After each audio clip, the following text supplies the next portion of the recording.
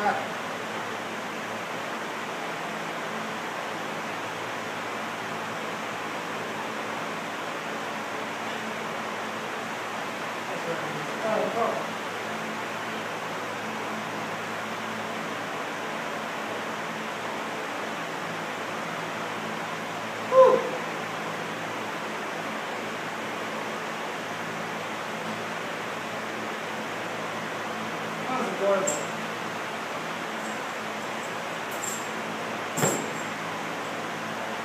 seems like you're in the shitter right now.